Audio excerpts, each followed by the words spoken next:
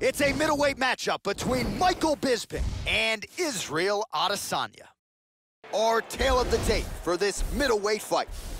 So a more than five-year gap between these two fighters when it comes to the age. Some differences in height and reach as well. He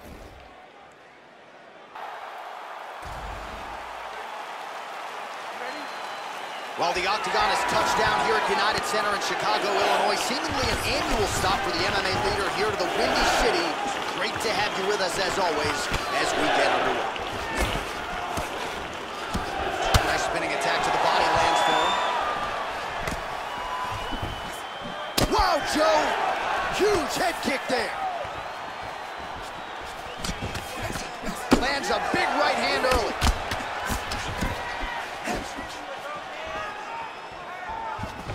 That punch no good.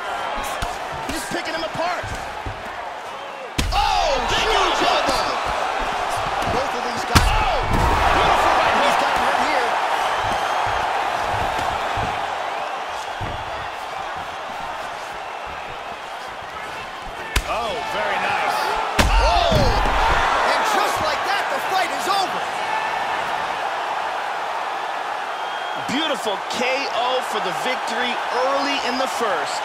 Yeah, Joe, that was the perfect shot right there. We didn't even get a feeling out process here tonight, and we say it all the time. Sometimes when you catch a guy cold before he's had a chance to get going in the fight, it can have a bigger effect. It certainly had a huge impact here tonight as he gets the win by first round KO. Let's take a look at that again here. And here it is again. Lands perfectly, and that's the end. And there he is after the huge knockout turned in tonight.